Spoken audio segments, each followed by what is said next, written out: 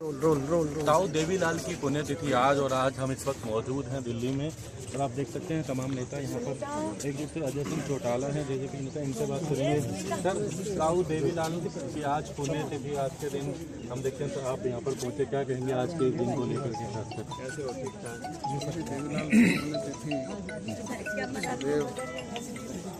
प्रदेश के लोग देश के लोग मनाते हैं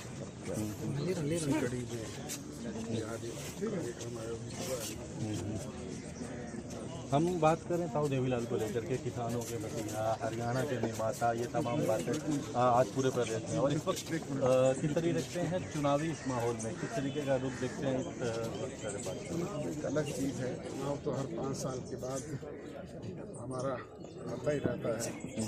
और वो शख्सियत जिन्होंने देश और प्रदेश के लिए जो कुछ है, उसको लेकर के हम इस लोकसभा चुनावों में की बात करते हैं इसको लेकर के आप आगे चल रहे हैं चाहे वो जनता की बात करें की बात कोई पार्टी की बात करें। इस लोकसभा चुनाव में क्या एक मुद्दा लेकर के लोगों के बीच जाएँगे? वो कौन से ऐसे मुद्दे होंगे जिसको लेकर के जा रहे हैं?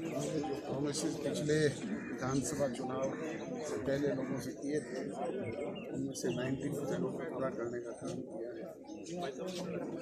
निकट भविष्य में अपना चुनाव घोषणा पत्र जारी करेंगे उस पर से बताएँगे तो एक बात और जानना चाहेंगे उम्मीदवारों को लेकर बैठक में एक राय होनी लेकिन जेजेपी की बात करें क्या इन नवरात्रों में रहेगा? बिल्कुल नवरात्र।